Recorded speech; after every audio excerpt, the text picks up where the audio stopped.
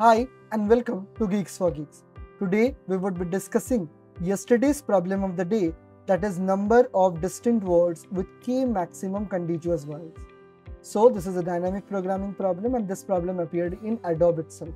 Now let us read and understand the problem statement. We need to find the number of unique words that consist of lowercase alphabets only of length n that can be formed with at most k in contiguous vowel. So how can we solve this problem and what is the meaning of this problem?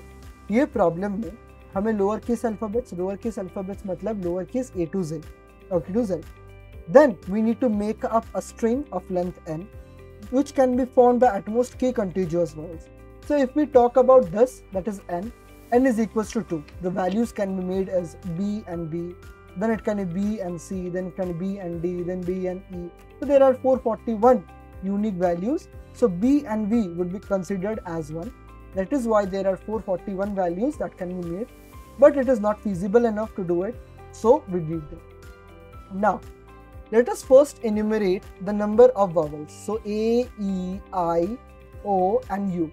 So in total we have 5 vowels itself. And what are the remaining number of consonants? That are 21 itself. Okay, const.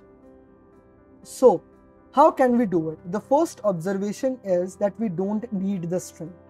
No string is needed we can just compute the result and as we need to return only the count it is very much feasible but how to take out all the values that are there so we can have a function where dp of i and j would tell us the length of string is will be equal to i and j would be the number of vowels that we are using we can do that Next, what are the probable operations?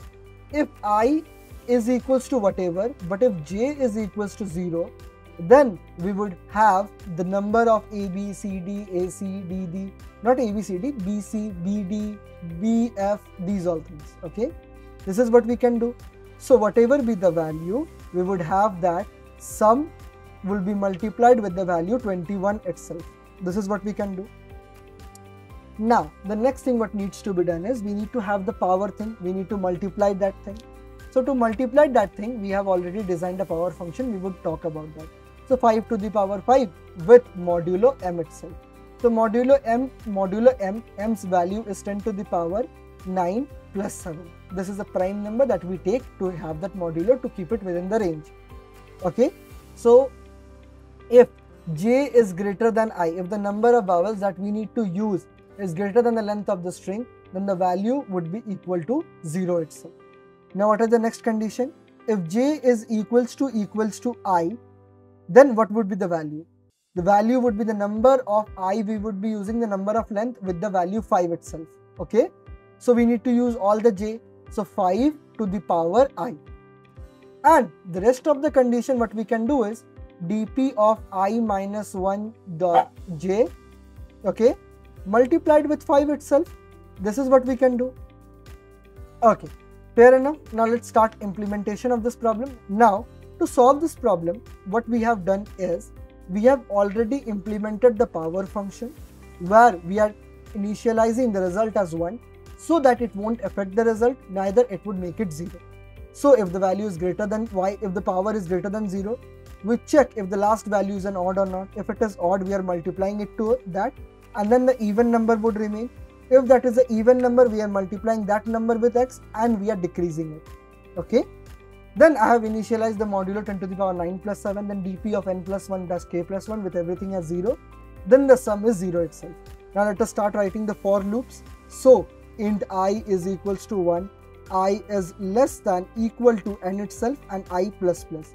Then we come across the things that needs to be done. Okay, dp of i and z j would be nothing but sum multiplied with the number of consonants because we can only use consonants at this point. Then dp of i dash 0 would be modulo equal to mod itself. Then sum would be equal to dp of i dash 0 itself.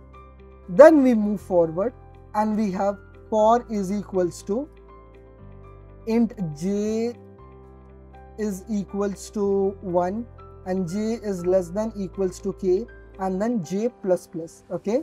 And then if j is greater than i itself then i told that dp of i dash j would be equal to 0 okay? Then what are the next condition that needs to be handled? If number of j is equals to equals to i then dp of i dash j would be equal to power of 5 the number of vowels with equal to the i value with the mod itself okay? Then comes the else condition. Else condition we are free to use the number of vowels conditions.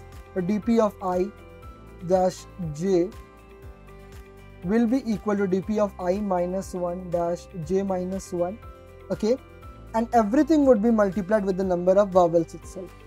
Then we do the mod thing. We can we need to do it outside so that it would be generalized for all the three cases.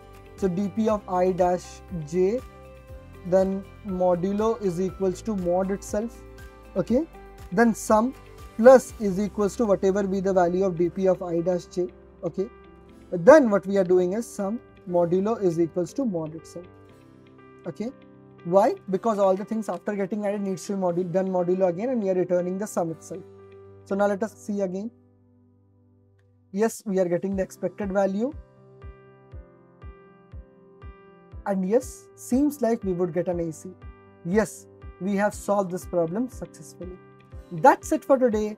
Thank you and have a nice day